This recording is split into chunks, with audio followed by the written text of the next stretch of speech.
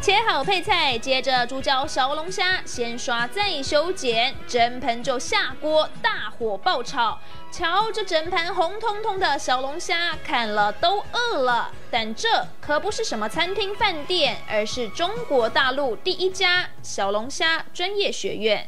我们的口号是：谁挑龙虾，后面才校门口直接摆了个重达一百吨的巨无霸小龙虾，一班三十个人，学什么呢？油焖、十三香、蒜蓉、清蒸数十种料理方法都要会，这是课程本身，也是课间美食。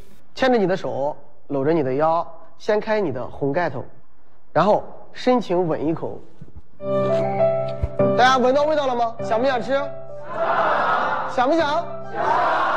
要记住味道，不能光只是吃啊。在小龙虾学院，烧虾培训比重其实只占几个月，基础的刀工、颠勺、翻锅或是凉菜、热菜、面点都要学，甚至连英文也被列专业课程。古时候练功讲究什么？叫人刀合一，人剑合一。当我们在练基本功的时候。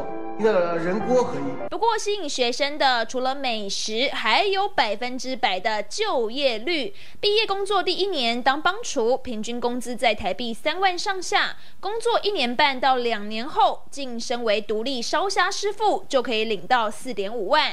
还有更多人是学成后干脆自己开店当老板。小龙虾也是比较火爆的，所以说选择这个专业。然后想着以后有个更好的出路，可以的话和我弟弟一起开个饭店。小龙虾贵为中国大陆的国民网红美食，专业人才缺口大，也难怪小龙虾学院的学生毕业都不怕招不到工作。东森财经新闻综合报道。